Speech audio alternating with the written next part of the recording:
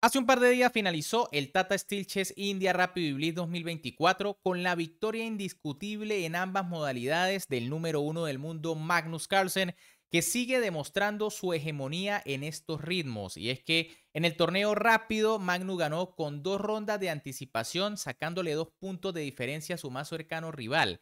Mientras que en el torneo Blitz ganó con una ronda de anticipación, sacándole punto y medio de ventaja a su rival más cercano simplemente brutal Magnus y bueno, por supuesto vamos a seguir disfrutando de las partidas más brutales que nos dejó este torneo, como es el caso de la que verán a continuación y es que bueno, Magnus en la segunda vuelta del torneo Blitz tuvo que volverse a enfrentar al gran maestro ruso Danil Dubov, el genio de la creatividad, en una partida simplemente de infarto porque bueno, tuvo mucho que ver lo que fue el apuro de tiempo, ¿no? Así que Pónganse cómodos y a disfrutar de esta fantástica partida, no sin antes recordarles por supuesto que me pueden apoyar dándole un buen like al video, suscribiéndose al canal y activando la campanita porque se viene dentro de muy poco el duelo por el título mundial entre Din Liren y Domarajo Gukesh. Vamos a estar allí muy atentos. Además, al finalizar también tendrán la tabla de posiciones del torneo para los que quieran verla. Con las piezas blancas en esta ronda número 16, ante penúltima ronda, el número uno del mundo Magnus Carlsen iniciaba con la jugada de 4, mientras que con las negras el gran maestro Daniel Dubov respondía con E5. Caballo F3, caballo C6 y alfil B5 tenemos una apertura española. Dubov juega 6 muy normal. Alfil A4, caballo F6, caballo C3, alfil E7, enroque y B5. De momento todo extremadamente teórico. Alfil B3 por parte de Magnus, enroque de Dubop, D3, D6 y A4. Bueno, aquí ya Magnus comienza a presionar el flanco de dama de su rival atacando el peón de B5. Dubop sencillamente juega torre B8 defendiendo, A por B5, A por B5, H3, jugada que evita los temas de alfil G4 o caballo G4. H6, bueno, Dubop hace lo mismo para evitar la entrada de alguna pieza en G5. Torre 1 por parte de Magnus, torre 8 de Dubop y ahora caballo E2. Bueno, Magnus aquí inicia uno de los planes típicos que es llevar el caballo a G3 para buscar la casilla F5. Sin embargo, bueno, también es interesante caballo de 5 de inmediato, ¿no? En caso de alfil F8, pues vendría alfil de 2 continuando con el desarrollo. Y en caso de que las negras capturen al caballo, pues viene E por D5 ganando espacio. Las negras pueden intentar hacer lo mismo, pero tras caballo por, peón por y torre a 7, se nota que la blanca tiene una posición muy interesante con esa torre en séptima. Pero caballo 2 también es muy natural, alfil F8 por parte de Dubop, caballo G3 buscando la casilla F5, alfil E6, C3, alfil por B3, dama por B3 y D5. Obviamente Dubop no tiene miedo de que le ataquen el peón de B5 porque está bien defendido con la torre, así que se lanza en el centro. Alfil E3, Magnus mantiene la atención, dama de 7 por parte de Dubop, Torre A6, torre E6, por si acaso defendiendo al caballo, quizá tratando de pasar por la tercera fila. Torre A1, Magnus se adueña de la columna A, B4 por parte de Dubop, que busca las complicaciones. Y ahora Magnus jugó C4, un error que le va a costar algunos tiempos. Lo correcto era torre A8 manteniendo la atención y atacando la torre rival. En caso de torre E8 vendría torre por, torre por, E por D5, caballo por y dama C4 y pueden ver que la dama está muy bien ubicada en esta casilla donde sigue poniendo presión a varias piezas de las negras. En cambio, tras la jugada C4, Duo, por supuesto, jugó D4, gana un tiempo atacando al alfil. Magnus tiene que retroceder. Y ahora, Dama E8, imprecisión por parte de Dubop. Era mejor Dama C8. La idea es que, bueno, en caso de la jugada Dama 4 para presionar al caballo, Viene dama b7, la dama vuelve a defender al caballo y junto con la torre y queda un poco más activa en esta casilla. En cambio, tras dama e8, Magnus jugó dama 4 y fíjense que ahora la dama no puede moverse porque el caballo está bajo ataque. G6 por parte de Dubop, caballo e2 por parte de Carlsen y ahora caballo h7, una jugada quizá algo pasiva por parte de Dubop. La idea obviamente es tratar de despejar para hacer la jugada f5. Pero lo correcto era torre B6 planteando el cambio de torres. Tras torre por viene peón por. Y si caballo C1, entonces caballo de 7, buscando la casilla C5. Puede ser que las blancas no quieran permitirlo y jueguen dama 6 para atacar al peón, pero entonces vendría rey H7 esperando un poco, eso sí. Tarde o temprano va a venir la jugada caballo C5 después de un dama de 8 u otra jugada para defender al peón. En cambio, tras la jugada caballo H7, caballo C1 por parte de Carlsen, que quiere venir a presionar, F5 de Duop, que comienza a atacar, E por F5, G por F5, caballo B3 y torre de 8. Bueno, aquí es donde la partida se empieza a poner emocionante. Fíjense que a Dubov le quedan 30 segundos, mientras que a Magnus le quedan 56 segundos. Es decir, ambos tienen menos de un minuto. Algo más presionado Dubov. Torre E1 por parte de Magnus, pero de hecho es Magnus el que comete el primer error más o menos serio de la partida. Lo correcto era caballo A5. En caso de caballo por, torre por y dama por, pues vendría dama por A5 y hay presión sobre el peón de B4. Una posición que es favorable a las blancas por el dominio de la columna A. En cambio, tras la jugada torre E1, E4 por parte de Dubó. Buena jugada, ya amenaza peón por caballo. Y bueno, Magnus se vuelve a equivocar y comete un error grave. Alfil F4, grave error. Lo correcto era caballo A5, presionando el caballo en C6. En caso de caballo por A5, pues vendría dama por A5. Y fíjense que no se puede capturar el caballo en F3 porque la torre de E6 quedaría amenazada. Y en caso de cambiar las torres, pues vendría dama por E igual, ¿no? El peón está clavado. Ahora, en caso de caballo B8, que es la mejor opción para atacar la torre, pues vendría dama por dama previamente, torre E por E8. Muy importante, no se puede tomar con la otra torre porque vendría torre por E6, torre por y ahora caballo por D4 y a las negras se les empieza a caer todo. Ahora tras torre E por E8 vendría torre G6 jaque, rey F7 y caballo H4. La blanca salva en el caballo y se queda en una posición bastante agresiva, de hecho amenazando la jugada alfil por H6. En cambio, tras alfil F4, Dubov jugó E por F3. De momento, las blancas pierden una pieza. Pero las negras juegan torre por E6, perdón, las blancas jugaron torre por E6, dama por E6 y dama por C6. Las blancas recuperan la pieza, pero en realidad esto es un error por temas tácticos. Lo correcto era G por F3 y tras dama E1 y rey G2, pues las negras se quedan con una pieza de más, ¿no? Caballo E5, ya salvan la pieza, pero tras torre E6 puede ser que las blancas tengan cierto mareo en la posición por lo activa de sus piezas, ¿no?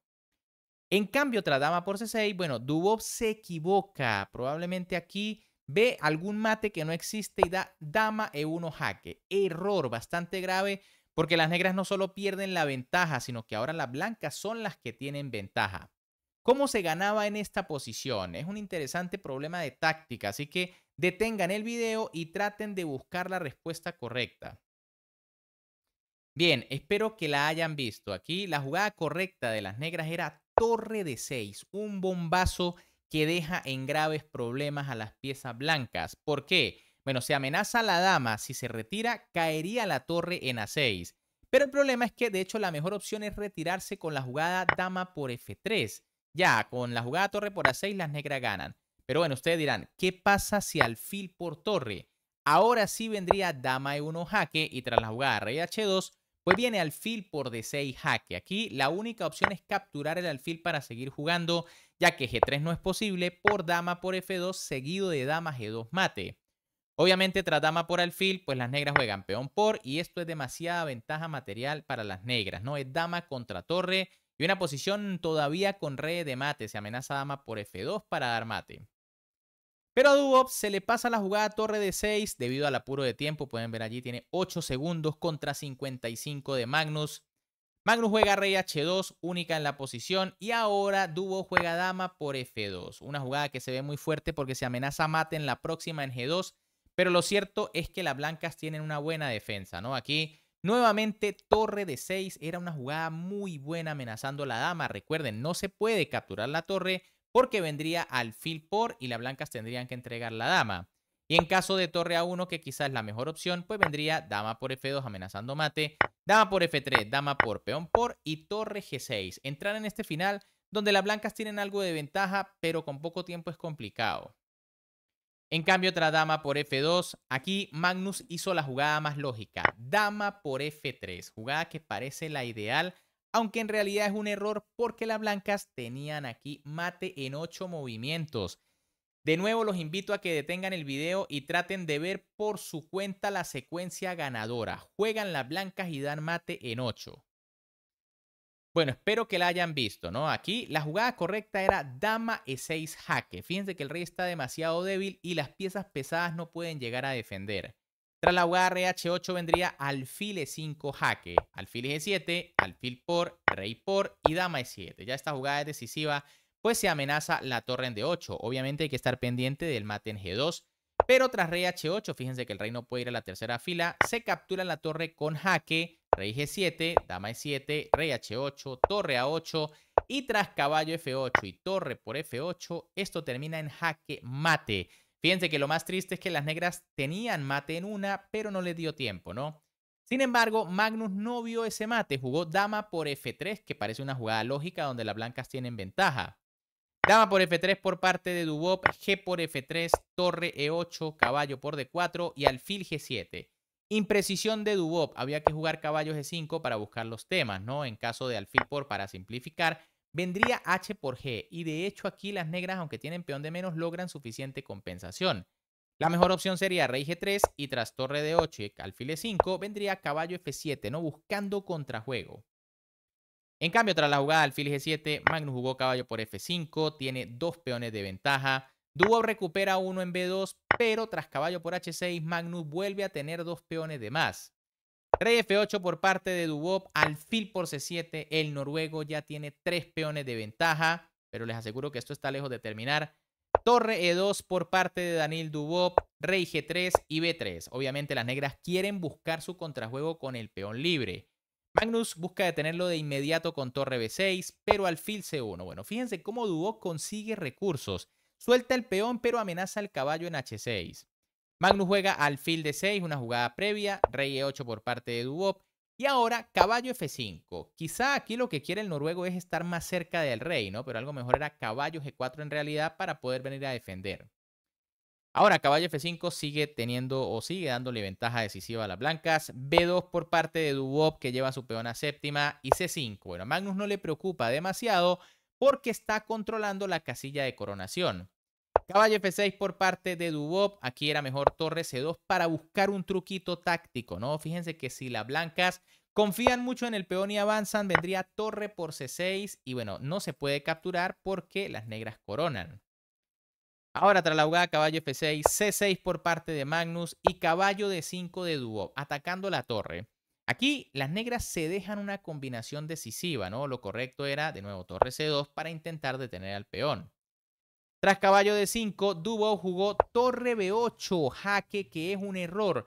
Lo correcto era torre B7 y la blanca ganan. La amenaza es caballo G7 y torre D7 mate, ¿no? Brutal aquí este temita que deja a las negras totalmente perdidas. Ahora, tras torre B8, Dubop todavía tiene una oportunidad. Rey F7 por parte del ruso. C7 del gran maestro noruego, torre C2 deteniendo al peón, fíjense que no se puede coronar, o vendría torre por y el peón negro corona. Caballo de 4 por parte de Magnus, torre C3 de Dubop, torre B7, rey E8, alfil E5, rey D7, caballo F5, torre C2, C8 igual dama, rey por C8, caballo de 6 jaque, rey de 8 y ahora h4. Bueno, parece que aquí Magnus con poco tiempo no ve todavía las amenazas de mate y decide irse con uno de sus peones libres, ¿no? Ya son 6 segundos contra 8. Fíjense cómo ha aguantado Dubop, que en un momento estuvo 7 contra 55. Lo correcto era caballo C4 y en caso de torre 2, pues simplemente alfil por B2 ya las blancas eliminan el peón más peligroso de las negras y se quedan con tres peones de ventaja. En cambio, tras H4, Dubo juega torre E2, ataca el alfil y bueno, Magnus jugó F4. Error porque se deja ahora temas tácticos. Por supuesto, estamos en un apuro de tiempo, es muy difícil. Lo correcto era caballo E4 y en caso de rey C8, torre B5 atacando al caballo y manteniendo bajo control al peón. En cambio, tras F4, Dubo jugó torre D2. Lo mejor era torre E1. ¿Cuáles son los temas? Bueno, en caso de caballo C4 para atacar con todo al peón, Vendría B1 igual dama y tras torre por, alfil por F4, alfil por y torre por B1, pues las blancas se quedan con calidad de menos, a cambio tienen dos peones, pero las negras deberían como mínimo hacer tablas, ¿no? Quizá no sea muy difícil aquí empatar.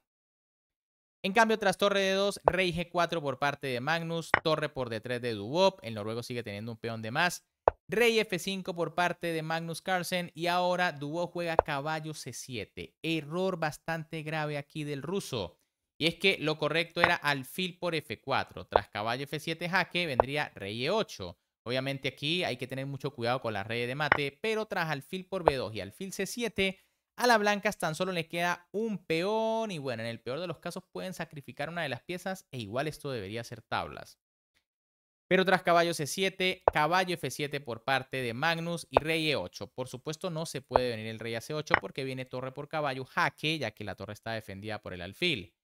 Por eso Dubov decide correr hacia el otro lado amenazando al caballo. Alfil por C7, buena jugada aquí por parte de Magnus.